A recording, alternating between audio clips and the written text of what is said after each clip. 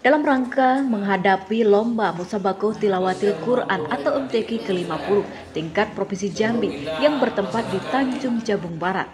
Panitia MTQ tingkat Kota Sungai Penuh telah melakukan persiapan yang cukup matang dengan melakukan dua kali training center atau TC bagi kapilah yang akan berlaga di tingkat Provinsi Jambi pada tanggal 1 sampai dengan 9 Oktober nantinya dan Kota Penuh telah mempersiapkan hampir 40 peserta, ditambah 10 dewan juri, 10 pendamping, 10 ofisial, dan 10 panitia.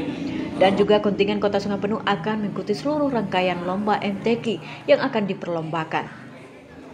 Kabak Kesra dalam hal ini Buya Abdul Muthalib menyampaikan semua bentuk persiapan lomba MTQ sudah dilakukan dengan melakukan dua kali TC training center guna menambah kesiapan peserta kapila Kota Sungai Penuh yang akan berjuang ke tingkat Provinsi Jambi dan menambahkan akan tetap berupaya berjuang keras untuk meraih yang terbaik untuk Kota Sungai Penuh. Abdul Muthalib. Tapi kita tidak menargetkan muluk-muluk, insya Allah kita akan berusaha semaksimal mungkin lah untuk tahun ini karena kita juga dalam keadaan covid ini dan masih banyak keterbatasan dan insya Allah kita akan tampil maksimal insya Allah.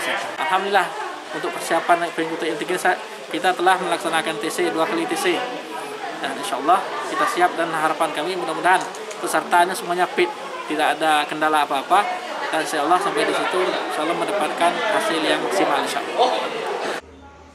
Khairul Sungai Penuh TV melaporkan.